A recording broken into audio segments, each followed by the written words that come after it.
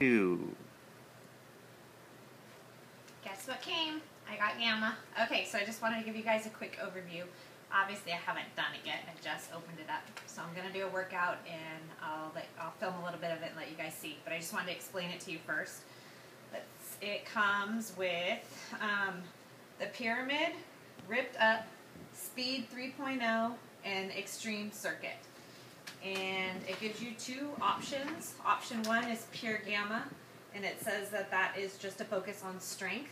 Um, follow this Pure Gamma calendar if you want to focus on getting ripped using Gamma workouts. Or it gives you an option two, Pure Strength Hybrid. The Gamma workouts will get you ripped, but if you want to build pure strength, follow this calendar. So I think as soon as we finish, um, we've got the rest of this week and next week. I am going to start with option one, which is pure gamma, um, if you want to focus on getting ripped. So I'm assuming from everything I've read, it's going to be a little bit less cardio and more strength training.